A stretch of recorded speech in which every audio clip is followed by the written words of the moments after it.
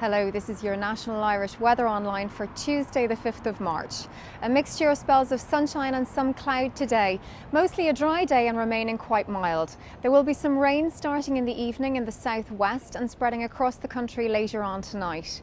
Moderate winds and with temperatures as high as 12 degrees, it's looking to remain mild for the duration of the day at least. Those temperatures will continue overnight, coupled with those spells of rain and slightly stronger winds in store for Wednesday and possibly Thursday too. That's your outlook. Be sure to check back here with us again tomorrow. A very good day to you.